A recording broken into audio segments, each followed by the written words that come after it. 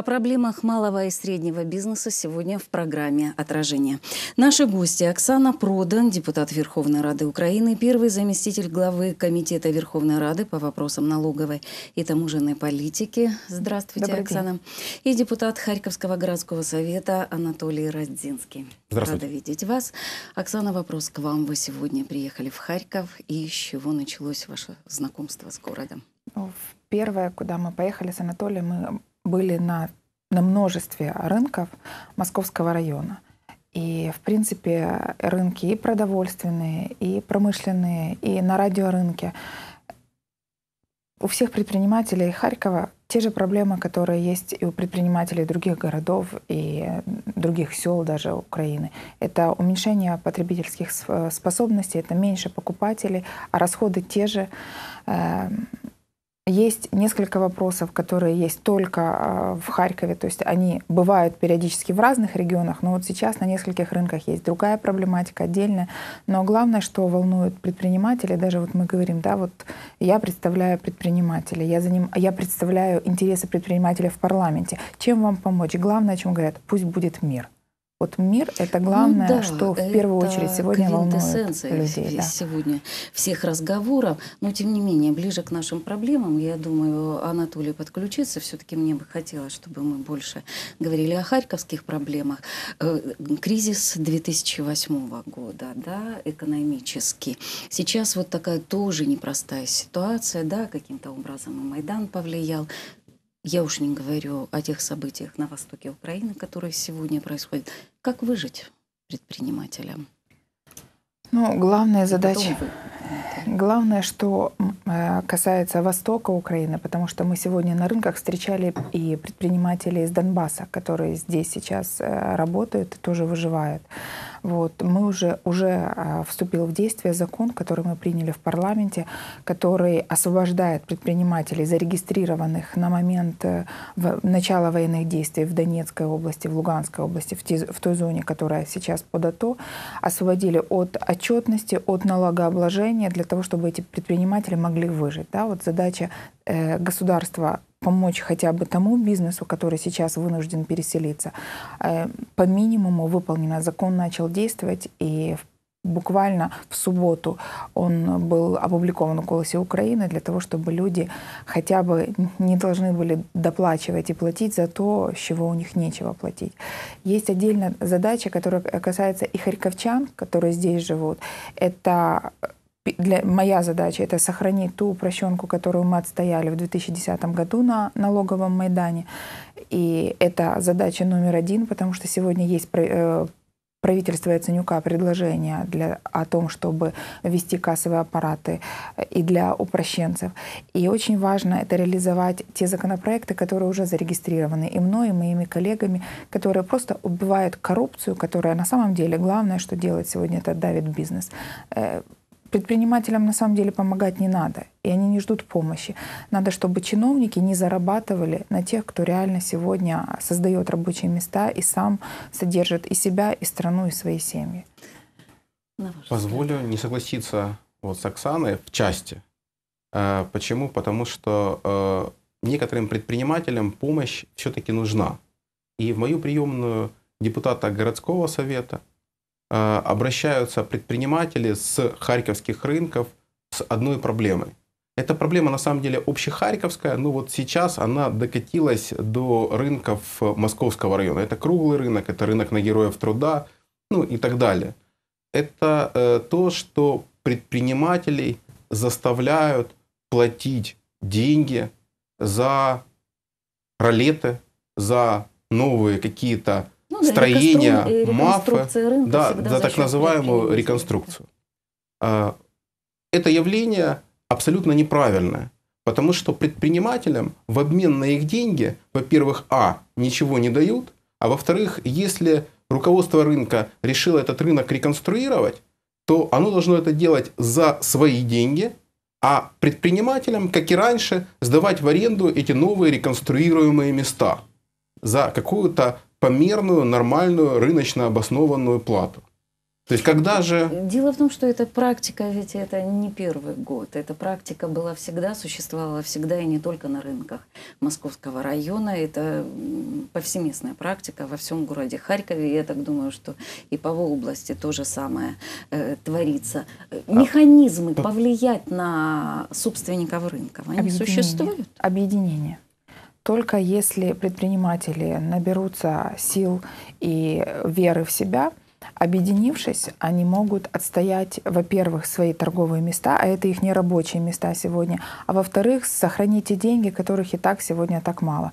И вот Анатолий предлагает свою помощь, э, но эта помощь, она будет работать только если предприниматели будут готовы бороться. Вот если они Оксана, вместе... расскажите об удачных примерах в Украине, потому сейчас, что вы давно секу... занимаетесь э, да, такой практикой. мы сейчас к этому пройдем, э, подойдем. Я все-таки хотела бы от Анатолия. Оксана говорит об объединении. Вы же общаетесь, вы депутат горсовета, да, наверняка вы общаетесь с людьми, к вам там в вашу депутатскую приемную и в приемную народного адвоката приходят люди. Вот они сами готовы объединяться. Вы понимаете, Смотрите, как мне что, кажется, дело в том, что... что бы не придумывали сверху, дело пока не в этом. Вопрос да, не сверху. Абсолютно. Вопрос, конечно, то есть вопрос как раз и стоит в том, что инициатива должна идти снизу. Ну, а мы должны, мы должны ее, Они привыкли. мы должны ее, мы должны ее поддержать. Люди не привыкли. Есть люди, которые, э, да, вот нам сегодня говорили, что кто-то продал свою квартиру, э, потому что у него нет другого бизнеса, кроме этого места на рынке. Кто-то влез в огромные кредиты под 40%, под 60% годовых, потому что он не видит другого выхода, считает, что вывернется, а на самом деле я, ну, он не отдаст эти кредиты, это невозможно, потому что 40-60% неподъемны для любой торговли. Э, поэтому, с одной стороны, инициатива должна идти снизу, с другой стороны, мы должны ее поддержать. Мы – это те, кто может ее поддержать. Э, и поддержать не просто пойти там, ну, поголосить, помитинговать, еще что-то там ну, сделать. Поговорить. Поговорить, да, то есть поговорили и разошлись. Речь идет о юридических процедурах. И я как юрист и правозащитник, ну, знаю об этом, ну, почти все. Да? Вот. Поэтому нам нужно юридически правильно отстаивать интересы вот этих вот людей, которые не хотят, чтобы с ними произошло то, что произошло, там, например, на рынке Барабашова. Да, вот есть рынок Барабашова, классический пример. Сначала там были ряды, потом люди сдали деньги на контейнеры, потом люди сдали деньги на еще какие-то мафы, потом еще реконструкция, еще реконструкция. И так это никогда не Нет заканчивается. И они да, ничем не владеют. Они нравятся, ну, уходи. С построенного тобой же мафа тебя и выгонят. Угу. Никаких ну, гарантий да. не будет. Это не у каждого, по-моему, там собственность. Нет, тоже там какие-то... Вообще нет собственности. Да, нет собственности. У людей схемы, нет собственности. Да, собственность да, на железо выдается, угу. если выдается. Э, я бы хотела все-таки услышать, вот есть ли инициатива самих предпринимателей? Конечно. Но ведь есть же у нас э, какие-то ассоциации предпринимательские. Почему Смотрите. вот эти организации сегодня существующие, они не в состоянии Потому отстаивать что... интересы свои же, Это не совсем получается? Вот есть, э, я знаю, что Оксана много лет возглавляла одно из таких, а, одно из таких объединений, которое объединяло предпринимателей малого и среднего бизнеса. И Оксана э, вот и в Украине, и в Киеве, и в других городах то есть как раз боролась за права предпринимателей, поэтому она является уникальным носителем. Поэтому мы вместе пошли сегодня. Да, вот, вот этого опыта. Потому что в Харькове бороться не принято. В Харькове всех выщелкивают поодиночке. Вот люди говорят, что там кто-то возмущается, ему руководство рынка говорит, ну не будешь тут торговать, то есть не нравится, не торгуй. И остальные идут влезать в долг, в кабалу куда-то, ну, для того, чтобы хоть как-то, чтобы у них осталась надежда, и они остались на этом месте. Поэтому а, только самоорганизация и инициатива, безусловно, самих людей, с одной стороны, и с другой стороны, юридическая помощь и поддержка, потому что э, мы э, должны отвечать юридическими методами. То есть по большинству, большинству руководителей рынков, большинство рынков, как, как, что это такое? Да? То есть это, по сути дела, узаконенный рэкет. Потому что людей вымогают эти деньги 190 тысяч гривен, 240 тысяч гривен, а взамен им дают клочок бумажки ни на что. Какие-то фонды, какие-то благотворительные взносы, какие-то еще что-то. Не дают взамен ничего. Ну да, такая принудительная благотворительность. Оксана, а вы можете сказать, вот сейчас э, то, с чего начинал Анатолий, если у вас есть какие-то такие оптимистические примеры, наверное, да, нужно, чтобы у людей, э, да, появлялось понимание, что ну, можно добиться. И мне кажется, это как раз вот, ну, такая часть огромной темы э, гражданского общества, да, вот то, о чем мы сейчас говорим. Когда каждый человек это, знаете, когда... осознает себя, вот я могу, я должен и я хочу. Гражданское общество — это здорово, когда речь не идет о твоем единственном механизме зарабатывания денег. Я просто говорю mm-hmm. сейчас позицию предпринимателей. Когда он зависит от этого места, будет он завтра кушать или не будет, он очень сильно оглядывается, этот предприниматель, что ему делать, что не делать. Но на самом деле такие предприниматели везде, не только в Харькове. И не только в Харькове их пугают, не только в Харькове бизнесу тяжело выходить в публичное поле, выходить в систему защиты на законном уровне своих интересов. Я могу точно сказать, что постановление 868, которое мы когда-то пробили в 2009 году, которое по пунктикам определяет и обязывает собственников э, соблюдать права предпринимателей на рынках, на рынках Московского района Харькова никто не соблюдал. Поэтому одна часть вот работы Анатолия есть однозначно. Есть вторая часть. Например, в Черновцах есть большой коммунальный Калиновский рынок. Там предприниматели уже не единожды объединялись, выходили и отстаивали свои права.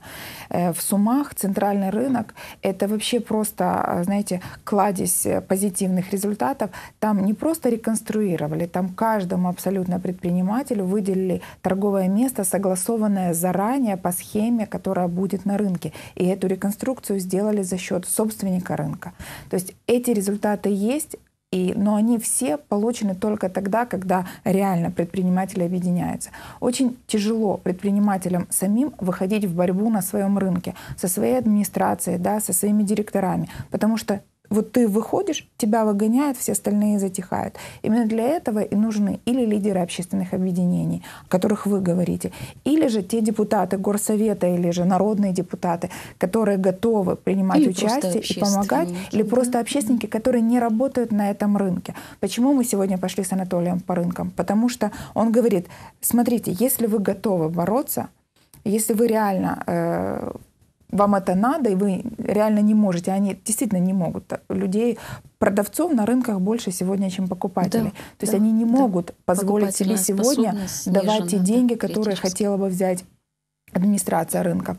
Если вы готовы бороться, вот есть юрист, есть юридическая поддержка, есть ваша воля и ваше желание, и именно вот это объединение однозначно даст позитивный э, эффект. Но я не знаю ни одного случая на всей территории Украины, когда бы э, объединившиеся предприниматели, которые имеют юридическое сопровождение своей работы, не отстояли своих прав. Да, они, может быть, знаете, как не выгонят администрацию, не поменяют нового арендатора всего рынка, но то, что они отстоят свои права и заставят администрацию с ними считаться, это однозначно. Э, Здесь нужно смотреть да, еще в корень, на самом деле, потому что большинство э, собственников так называемых рынков, большинство администраций рынков, возможно, получили землю, а земля, на которой стоит рынок, она городская, она коммунальная, так вот, возможно, они получили эту землю с нарушениями. И весь порядок получения ими земли нужно выявить, выяснить. И э, нахождение там нарушений в получении этой земли будет еще одним рычагом давления организованных предпринимателей шантаж, да, на... Со а что делать? А как по-другому? А руководство же рынков предпринимателей и шантажирует. Они же их шантажируют. Они же говорят, что не хочешь платить, уходи. Э, не принесешь деньги к такой-то дате, мы закрываем твой контейнер, там все вещи твои опечатываем или какое-то там твое место и не отдаем тебе и еще что-нибудь такое. То есть постоянно это происходит, это постоянно происходит. И ну, только это в том случае, если люди, да, если люди да. объединяются, человеку некуда и деться. если у них есть юридическая поддержка или поддержка народного депутата Украины или поддержка э, вот, э, ну, городского депутата городского совета, хотя безусловно полномочий у депутата Верховной Рады на порядок больше, в 50-80 раз больше, э, чем у депутата городского совета. Потому что депутат городского совета, по сути, работает ну, на общественных началах. А вот уже депутат Верховной Рады, он обладает теми полномочиями, которыми э, может воспользоваться либо во благо этих людей и помочь им, либо на свое благо. Но это выбор каждого. Да, безусловно. Часто приходится слышать, что украинское законодательство, оно достаточно качественное. Да, вот много законов. Проблема в том, что закон... Приходится такое слышать, и это, кстати, встречается и в статьях, и в интернете можно найти вот такое мнение законодательство, Пожалуйста. которое э, проблема только в том, что не выполняют. Да. Это некачественное законодательство mm-hmm. на самом деле, да. И вот э, я э, два года в парламенте работаю. Я впервые пришла в 2012 году вместе с фракцией «Удар» Виталия Кличка в парламент. Два года я пытаюсь систематизировать своими законопроектами, где это возможно, где нет, но вот пытаюсь вывести к одному какому-то знаменателю все, что регулирует экономическую деятельность и бизнес есть законопроект 4334 мой, 4334А, которым мы показываем, как в течение года, всего одного года, это реально всего одного года, можно полностью э, уничтожить коррупционную систему экономики, э, регулирования экономики. К сожалению, Звучит как это правда. просто нереально. Это правда. А что это за Но, к сожалению, он о чем? Э, он э, дает процедуру изменения сегодняшней советской, где-то постсоветской системы регулирования экономики на проевропейскую. В отрасли отрасли производства э, продуктов питания мы уже пошли этим путем, мы уже поменяли законодательство, э, закон и набор законов э, в, каче... в сфере безопасности производства продуктов питания. Но это только один кусочек. Если бы мы приняли 4334А, этот процесс прошел бы сразу во всех отраслях экономики. И вот этот закон, законопроект касается 87 законов, которые сегодня регулируют вот экономическую деятельность, любую предпринимательскую деятельность. 87 80... законов, mm. а сколько подзаконных актов, да? То есть есть одна часть, это непрозрачность самих норм, но самое главное, что в нашей стране не хватает, это судов. судов. Сегодняшняя судебная реформа, э, которая э, была проведена вот последние три года, эм, Киваловым, Портновым mm-hmm. и всеми остальными, она и раньше была неправосудная, да, а сейчас она даже просто добиться решения иногда бывает невозможно. Не, не то чтобы правосудного решения, вот адвокат не даст соврать. Иногда даже решение тяжело получить, потому что они делают то, что хотят. И вот моя задача как народного депутата, и я 15 номер в списке блока Петра Порошенко, я знаю, что я буду в следующем парламенте снова, это обеспечить работу, правосудную работу судов. Без того, чтобы суды гарантировали выполнение законов, выполнения всех прав, мы ничего не добьемся. И защита, любая защита в суде любых вопросов, это, опять же, судебная реформа. И без этого никаких изменений в, в будущем быть не может. Главное, что мы должны сделать, это заставить работать суды, изменить систему работы судов. И вторая часть — это уничтожить внутри страны коррупцию. Это если говорить сейчас о ситуации ну, внутри это... Украины, Безусловно. И мире на Востоке, потому что мир на Востоке это вопрос номер один сегодня для вот нас. как раз то, о чем вы сказали, это судебная реформа, работа э, судей и коррупция, это, мне кажется, глобальные проблемы Украины, да, от которых она страдает очень много, много Но решить лет. их на самом деле просто, просто, Но... Ну. надо только хотеть. Безусловно, изменение законодательства это очень важно. Почему? Потому что э, вот самоорганизация тех же предпринимателей на рынках и их юридической поддержкой мы лечим не причину, мы лечим следствие. То есть мы лечим болезнь, замазывая ее зеленкой. Но менять нужно в корне. Ведь нигде в Европе ну, такого нет.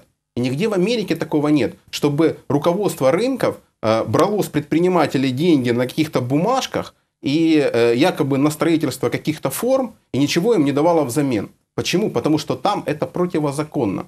Потому что э, там существуют законы, которые, возможно, приравнивают подобные действия к рэкету, к вымогательству, и там это невозможно в принципе.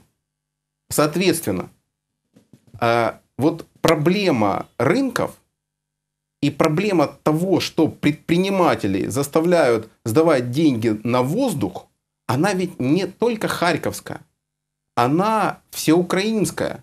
И Оксана говорила, что и в Сумах, и в Черновцах, и в Чернигове, и в да, Киеве, везде, везде одно и то же. Значит, соответственно, Нам нужен такой закон, который бы не позволил это делать. Нам нужен закон, по которому не может руководство рынка собрать с предпринимателей деньги э, за право там, находиться в павильоне, ничего им не дав.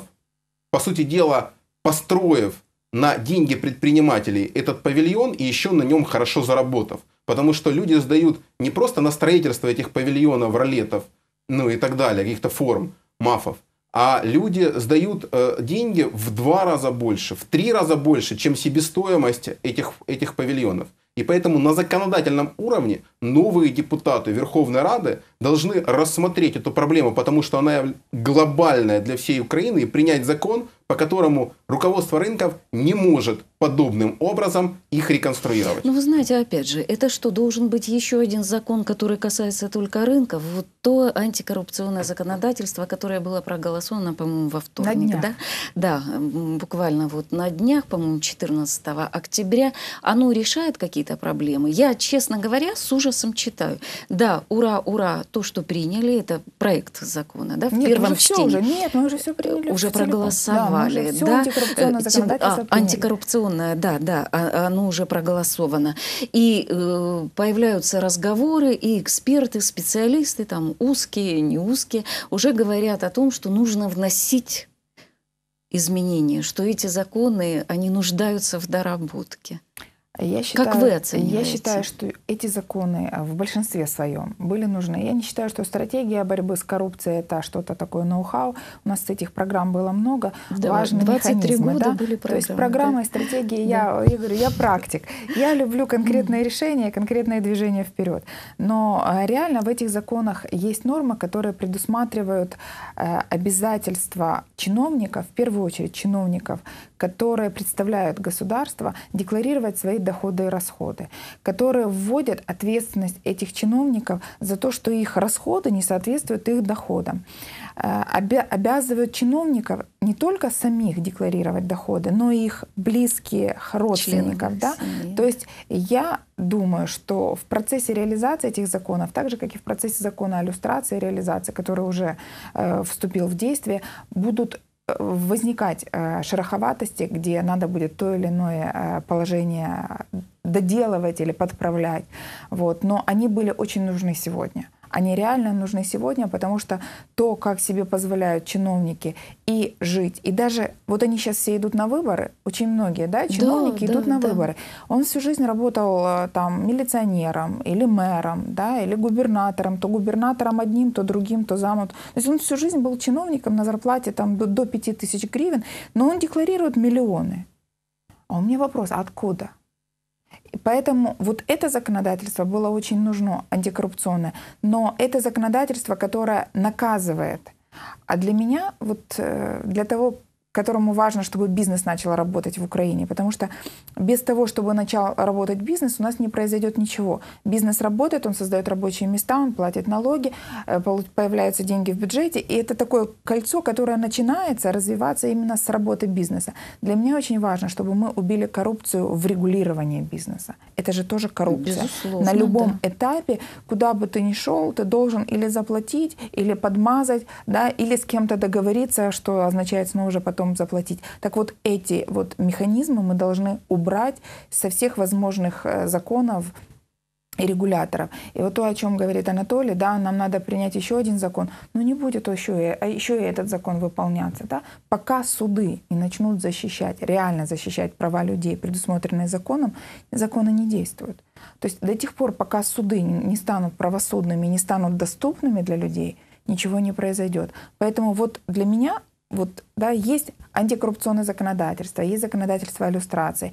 Мы уже ужесточили наказание максимально э, со всех коррупционеров, которых словят и доведут до суда, и в судебном порядке докажут, что они были коррупционерами. Для меня очень важно сделать так, чтобы человек, который идет в госслужбу, не имел возможности заставлять или же вымогать. Чтобы у него было настолько прозрачные обязанности и полномочия, чтобы у него не было выбора. Или ты работаешь по закону, или ты не работаешь. Э, Ну, скажите, пожалуйста, опять же, по, ан- э, у прокуратуры отобрали общий надзор, Надзор. да, этого уже нет. Кто будет следить, ну, проще говоря, кому жаловаться, если вдруг понимаешь, что антикоррупционное законодательство не соблюдается? Ну, Куда во-первых, идти? Куда во-первых, писать? э, Кто мы, за это мы будет создали отвечать? антикоррупционное бюро. Оно еще не Да, создано, да, но мы его ну, э, создали. да. То есть это будет тот орган государственный, который будет отвечать за даже не знаю, как это культурно сформулировать, то ли за состояние коррупции, то ли за отсутствие коррупции. За Лучше, что оно будет отвечать, это бюро. То есть вот мы э, создали это бюро, и это будет орган по борьбе с коррупцией, по упреждению коррупции в стране. Это то, что касается коррупции. То, что касается полномочий прокуратуры, ну мы же с вами знаем, они зарабатывали деньги на этом надзоре. Откровенно, нагло, иногда по ходу дела, следствия, а иногда сознательно просто идя и этим надзором забирая деньги. Поэтому полномочия надзора есть у конкретных отраслевых контролирующих органов. И если мы говорим, я возвращаюсь, продукты питания, да, потому что мы там все отрегулировали, будет два государственных, он- они сейчас есть, просто сегодня их было много, а сейчас мы их реформируем, будет один орган государственный, который будет определять политику государства, определять, как должно все происходить, чтобы продукты питания были безопасными для нас с вами. А другой орган будет контролировать выполнение вот этого всего. Все. Один контролирующий орган между сегодня действует, вместо сегодня действующих четырех вот в сфере именно продуктов питания. Но это будут, будет тот орган, который будет иметь полномочия, во-первых, а во-вторых, отвечать за то, что он допускает на рынок. Это политика президента. Политика нашего нового президента. Ну, я понимаю, что вы не можете быть с этим не согласны. Я бы хотела э, вернуться. Более того, я не просто, я с этим согласен и считаю, что именно сейчас необходимо провести целый ряд реформ, в том числе, Оксана говорила, борьба с коррупцией, реформа судов, реформа здравоохранения, реформа правоохранительных органов. И там же реформа рынков, потому что на самом деле э, Украина – это страна рынков. У нас в каждом городе по несколько десятков различных рынков.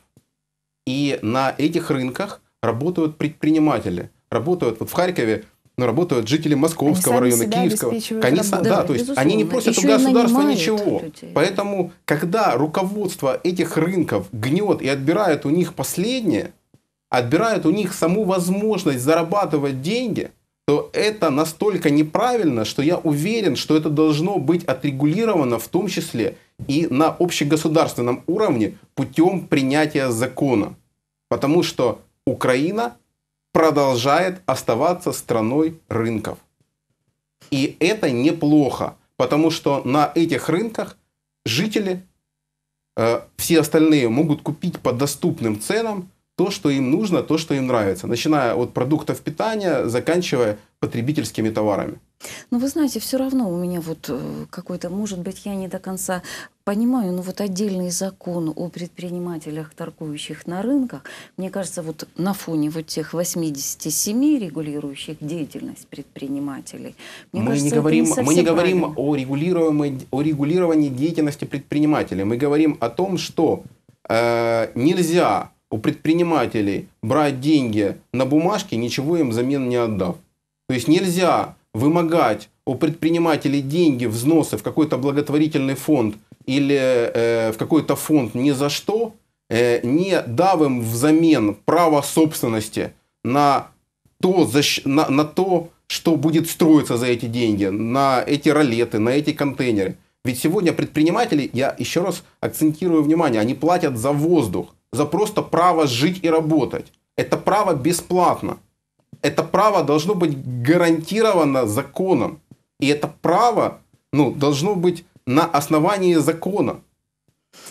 Я поняла и думаю, что очень хорошо, что во всяком случае этот вопрос хотя бы поднимается, потому что действительно просто должны его поднять, мы должны его важна. решить. У нас одна Поэтому наша минута, задача его решить. И я бы хотела от вас, вы депутат городского совета, вы депутат Верховной Рады Украины, чего вы ждете? У нас одна минута. Чего вы ждете от встречи Порошенко с Путиным? Потому что ну не, нет э, коснуться этой темы ситуации на востоке Украины я просто не могу. 17 октября Порошенко и Путин Будет ли мир у нас в стране?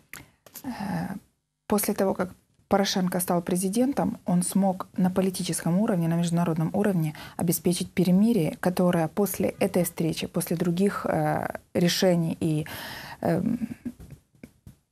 движений со стороны президента Порошенко однозначно обеспечит мир на востоке Украины. И я абсолютно уверена в том, что сегодня Порошенко делает все для того, чтобы этот мир был обеспечен не военным образом, с сохранением э, жизни каждого украинца. И того, который сегодня воюет, и того, который сейчас вынужден жить э, в территории действия АТО. То есть задача со стороны Порошенко и задача каждого абсолютно гражданина Украины — это мир и на Востоке, и внутри страны без коррупции и без вот таких вот э, злоупотреблений со стороны власти. Буквально. Я представляю партию мира. То есть я считаю, что президент Украины Петр Порошенко тот человек, который обеспечил, обеспечивает и обеспечит до конца мир в Украине. Для харьковчан это очень важно, потому что Харьков это один из двух городов, которые Форпост, прикрывают, район, да, то есть которые прикрывают всю остальную Украину э, от вот того, той ситуации, которая происходит э, в Донецке и в Луганске. И, ну что и ж, э, Анатолий, мы извините, на сегодняшний да. день имеем те простые, обычные радости жизни именно благодаря мирным инициативам президента э, Петра Порошенко. И вот всего этого не имеют сегодня жители Луганска и Донецка. И Харьков да.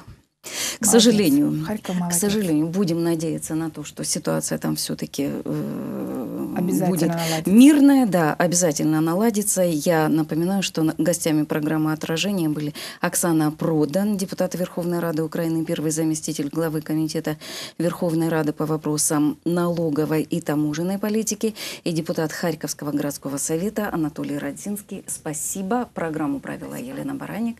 Всего хорошего. До новых встреч. Спасибо большое.